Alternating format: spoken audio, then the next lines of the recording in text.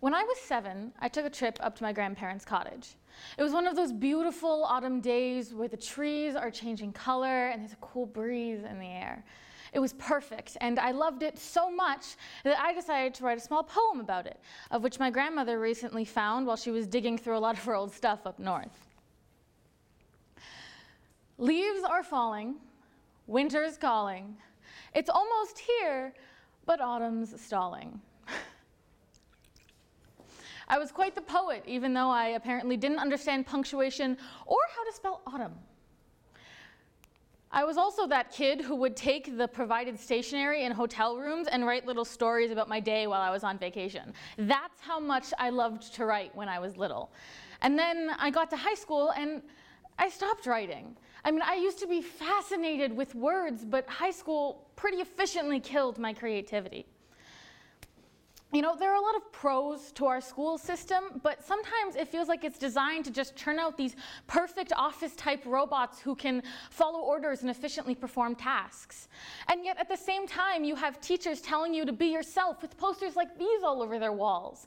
They tell you to be an individual, and honestly, I don't think it's the teacher's fault. I think it's the standardized tests. I think it's the quizzes and the assessments every week, and I think it's the stress, and I think it's the deadlines. And yeah, I guess that's real life, but why is that all real life has to be? Why, when exam time comes around, do I have my friends asking me to push them down the stairs so they can break their arm and not have to write their test? Why is that? I mean, they say it jokingly, but like, why is that so funny to them? Why is that a joke that they think appropriate to say? Because we're so stressed as students. And it's so funny to so many of us because we all feel the same. Back in February, when I was choosing my grade 12 courses, I asked my mom, hey mom, can I take drama?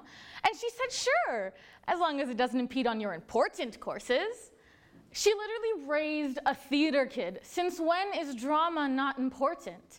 But it wasn't, at least not to her. But do you know what is important to her? The arts. The arts are important to all of us. Don't believe me? How many minutes has it been since you last listened to a song? Minutes, not hours, not days, minutes. Who do you think wrote that song? Sang it, produced it? Artists. How long has it been since you last watched a movie, a TV show? Who do you think wrote that, directed it, produced it, designed the costumes for it? Artists. When was the last time any of you played a video game? Who do you think designed that video game? Who do you think wrote the storyline, devised the side quests? Artists. How many of you put makeup on this morning? Any of you watch MUAs on YouTube? I don't know about you, but I think that's some serious talent.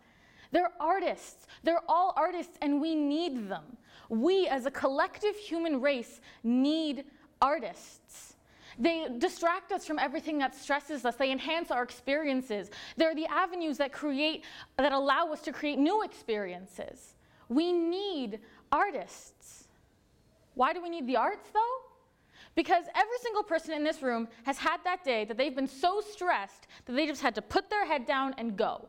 They just had to block everything else out and accomplish today's tasks. But do you know what happens when you put your head down and you just go? You forget to look up. You forget to enjoy life, to smell the roses. Why do we need the arts? Because we as a human race want to do more than just survive. Why do we need the arts? Because we want to do more than just survive. We want to live. Thank you.